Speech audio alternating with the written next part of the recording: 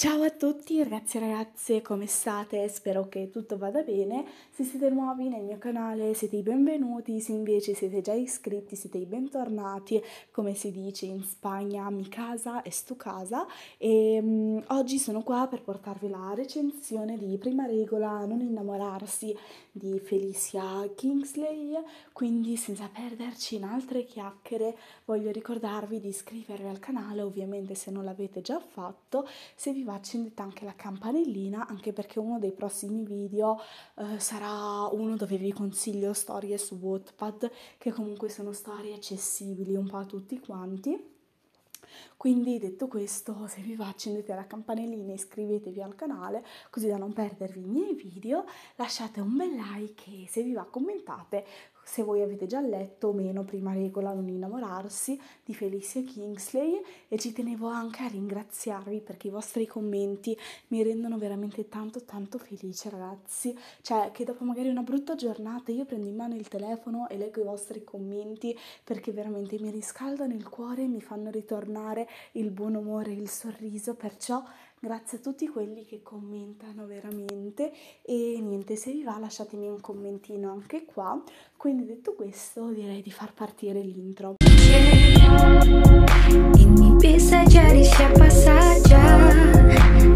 Allora ragazzi, come sempre la scaletta è trama, temi, alla fine la mia recensione. Quindi detto questo direi di partire con la trama. Uh, Sylvie ha 27 anni, una madre asfissiante e sogna solo una vita normale, con un lavoro normale, ma la verità è che la sua vita è tutto meno che normale perché è una truffatrice, sì, una, truffet- una truffatrice, figlia di una truffatrice che l'ha istruita alla perfezione nell'arte del furto e dell'inganno, le ha persino insegnato a piangere a comando, ad andare nei ristoranti e mangiare senza pagare. Ci sono solo due cose che Sylvie non deve fare, che le sono state vietate dalla madre, mangiare i carboidrati e innamorarsi. A lei le regole non piacciono, ok vivere senza innamorarsi, ma non senza carboidrati. Infatti per questo ogni volta che parte per una missione mangia tutti i carboidrati che non ha potuto mangiare mentre era con la madre. C'è invece una persona a cui le regole piacciono moltissimo, Nick Montecristo, un affascinante ladro gentiluomo e astuto genio dell'arte. È un abile stratate- stratega, impermea- impermeabile ai sentimenti e non ha mai fallito un solo incarico. Nick e Sylvie sono i prescelti da un ricco ed eccentrico collezionista per mettere un segno, un, uh, assegno un colpo sensazionale il ricco ed eccentrico collezionista è Lord Harry e vi dico solo che a me sta un sacco antipatico. Peccato che i due si detestino e abbiano qualche conto in sospeso da regolare. Lei è fuoco, lui è ghiaccio. Impensabile lavorare insieme, impossibile dire di no al colpo. Riusciranno Nick e Sylvie a passare da rivali a complici ed evitare una fastidiosa quanto imprevista attrazione che tra loro magari complichi le cose, ma sì, in fondo sono due professionisti, basterà rispettare una sola regola, ovvero quella di non innamorarsi. Infatti, verso la fine del capitolo ci sono tutte le dieci regole del ladro, che sono la prima, eh, prima c'era scritto mai fidarsi di un altro ladro, ma poi è stato tracciato e c'è scritto non innamorarsi, sapere tutto ciò che riguarda il colpo, 3. Mai farsi riconoscere o ricordare. 4. Dietro un quadro c'è sempre una cassaforte. 5. Individuare le possibili vie di fuga di ogni luogo. In realtà la 5, nonostante io non sia una ladra, la faccio anche io, ma perché ragazzi è veramente importante individuare tutte le uscite di sicurezza, soprattutto nei centri commerciali. Io sono una che è un sacco amante delle serie true crime, infatti Elisa True Crime io tipo l'adoro, e solo che veramente la maggior parte dei, degli omicidi avvengono in un centro commerciale e perciò ciò che vi consiglio io è quello sempre di individuare un'uscita di sicurezza, soprattutto quando siete da una festa senza magari amici, non solo al centro commerciale, anche magari semplicemente quando state andando da un'amica appena conosciuta, così. Perciò io vi consiglio veramente sempre di individuare le possibili vie, vie di fuga di ogni luogo perché può sempre tornare utile. Infatti io appena entro in un luogo cerco sempre ma immediatamente di individuare le uscite di fuga. Comunque il 6 è quello di distrarre l'obiettivo, il 7 è memorizzare i dettagli, l'8 mai, mon- mai mostrarsi interessati a un lavoro L'otto in realtà ve la consiglio anche nella vita reale, io sfortunatamente ancora non sono entrata nel mondo del lavoro, perciò ancora non so come funzioni, però um, già a scuola magari durante i lavori di gruppo, se tu ti mostri troppo entusiasta, poi lasciano tutto il lavoro, scaricano tutto il lavoro su di te e di conseguenza poi te ti ritrovi a dover fare un sacco di lavoro per magari sei persone e perciò mai mostrarsi interessati a qualcosa sei interessato, ok, ma tienilo per te, non mostrarlo agli altri. Il 9, non farti uccidere o peggio, farti arrestare. E la 10, rispettare tutte le regole. Alla fine la 10 in realtà non è mai stata rispettata, ma va bene così. Comunque, ve la faccio un po' più breve, Sylvie e Nick sono stati incaricati da Lord Harry per eh, rubare il diario di Casanova, così che quest'ultimo avrebbe potuto ritrovare il tesoro nascosto, però durante questa, diciamo, ricerca ehm, ci saranno diversi morti, tra i quali uno è l'ex di Sylvie e l'altro invece è un suo vecchio professore, della, cioè un vecchio professore dell'università che lei frequentava. E perciò la trama in breve è quella di ritrovare il diario di Casanova, dare il diario a Lord Harry e alla fine eh, prendersi due milioni da dividersi in due, quindi un milione a testa, solo che in realtà il loro piano era quello di Sylvie fare innamorare Nick di lei e poi rubargli due milioni e andarsene. Quello di Nick invece eh, fare innamorare Sylvie di lui, rubargli due milioni e poi andarsene. Perciò erano molto molto diciamo facili piani, però qualcosa è andato storto. Ora passiamo ai temi. Io ve lo dico con il cuore aperto, io sinceramente di temi in questo libro ne ho trovati veramente pochissimi. Sarà perché più che altro, cioè mi è piaciuto ma l'ho trovato un sacco noioso, soprattutto durante le spiegazioni d'arte e perciò non mi sono molto concentrata, però Sicuramente eh, il primo tema è quello dell'abbandono, infatti Nick è cresciuto in una casa famiglia barra orfanotrofio fino ai suoi 17 anni dove poi è andato ad Oxford e sicuramente questa cosa ha, ha segnato un sacco la sua vita. E persino Sylvie è stata abbandonata dalla madre per 7 anni, eh, poi magicamente la madre è comparsa e l'ha portata insieme a lei in questo mondo di, di rubare del rubare.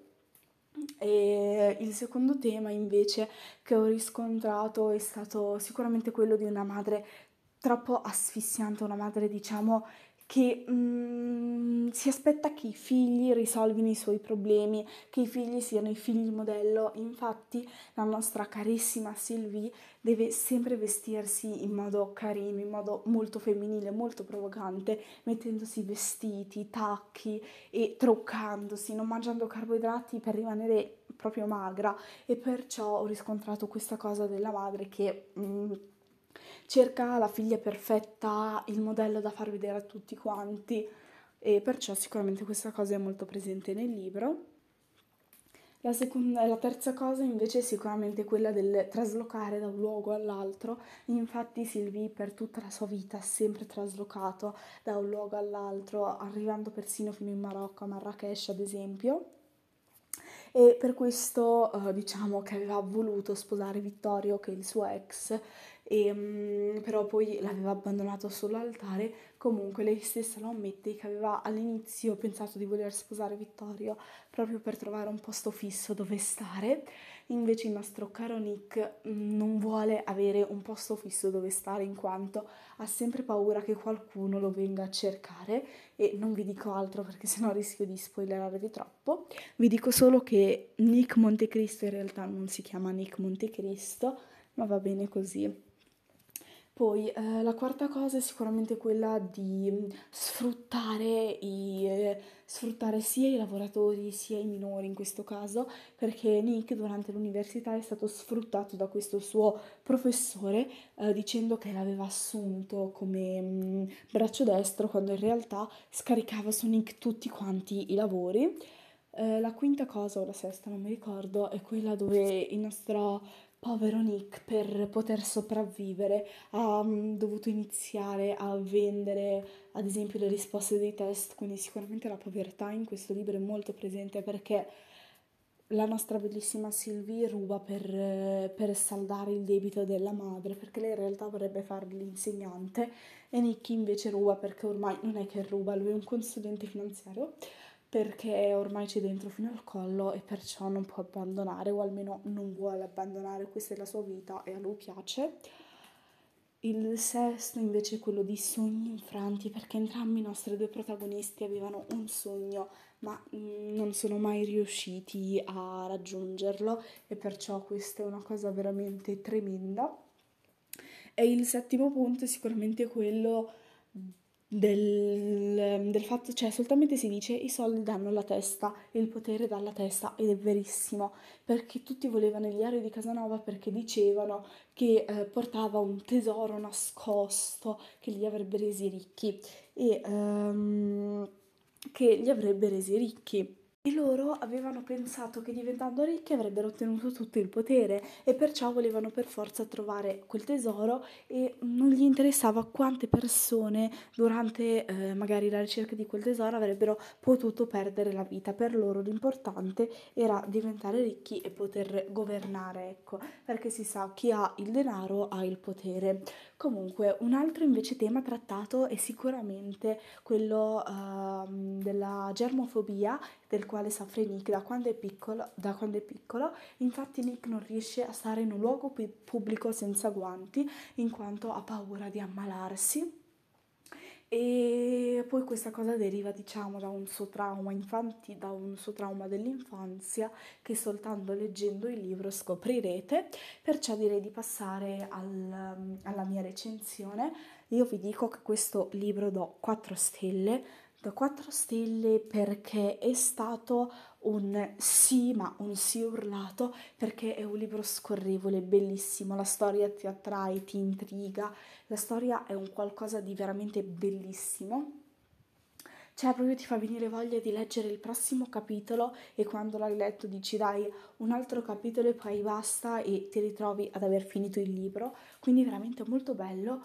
L'unica cosa che non mi ha fatto dare 4 stelle e mezzo è sicuramente eh, tra- la troppa descrizione di storie dell'arte. Infatti io non sono una fanatica di storie dell'arte, anzi in realtà non riesco neanche a leggere c'è la vita magari di Casanova senza addormentarmi, il modo in cui l'ha scritta Felicia comunque sono riuscita a leggerla, però mi sono ritrovata a sbadigliare 40.000 volte, quindi le troppe descrizioni di arte, nonostante fossero importanti sia per il personaggio di Nick, sia per ehm, ritrovare il diario di Casanova, però comunque a me non sono piaciute veramente tanto, so che erano importanti per il libro e il modo in cui Felicia era veramente un sacco aggiornata sull'argomento, come tutto quello che ha scritto fosse vero, mi ha lasciato veramente molto molto uh, colpita, però uh, a me non piace storia dell'arte, quindi non ci posso far nulla.